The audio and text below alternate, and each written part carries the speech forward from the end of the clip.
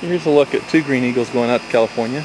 These are equipped with a new remote start, which you have to arm on the front of the engine. Uh, right base in the front, you once you arm the, uh, the remote start, you can start the engine from up here.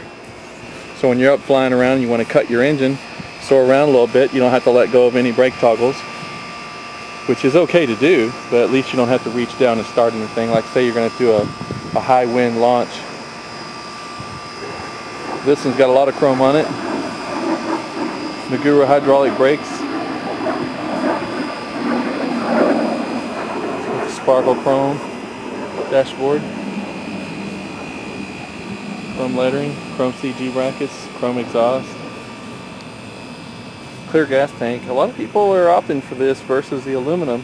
Here's another one. This one's going to uh, Mexico, Baja PPG. And uh, the thing about this one is it's a high altitude version. It's got one of our Mikuni carburetors from Japan on it. This is the current model everybody flies in Albuquerque. They come with electric fuel pumps, charging system, carb heat, all for flying in cold weather. And from pallet, should take about half an hour to be flight ready because the cages are already fit.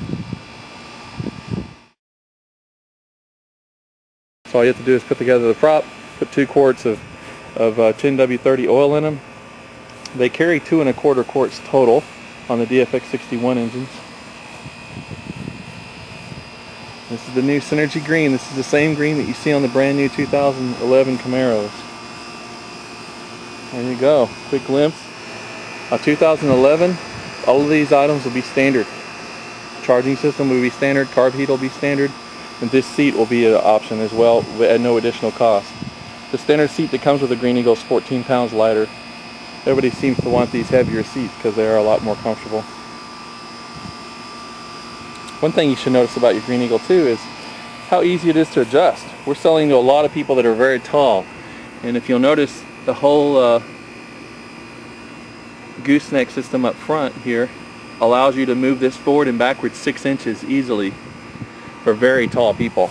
we have some 300 pound, six foot seven pilots flying these things. Right now the only aircraft of its kind that has a full body roll cage has come standard now with disc brakes, charging system, carb heat. It's the most bang for the buck.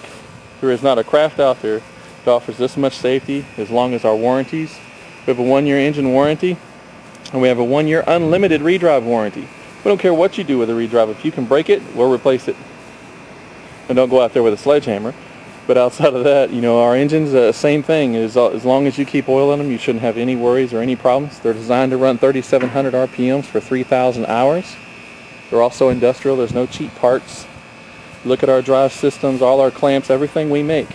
Frame clamps, drive, mounting plates, floating mount system. A lot of smooth lines, no cheap welding.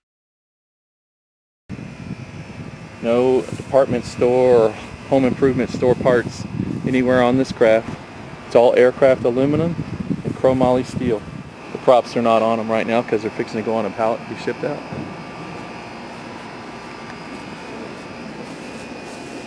Please note our drive system's the only one like it in the world. Our whole mount system is a floating mount system, patent pending. We also have the only dismountable, completely dismountable cage within about a minute. I can also do chin-ups on this cage. I'm 240 pounds. We have the only full body roll cage system in the United States as far as FAR 103 aircraft are concerned.